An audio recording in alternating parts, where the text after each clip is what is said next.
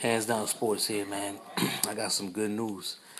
Uh, my boy Sammy from New York uh, officially advised that the MLB commissioner wants to increase the amount of teams by two uh, in the MLB. So um, definitely would like to know, you know, where they're gonna put those teams, what city, state, name, jersey color, all that type of stuff.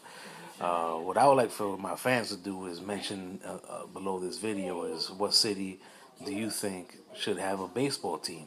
Because there's a lot of good cities out there that don't have the three major sports.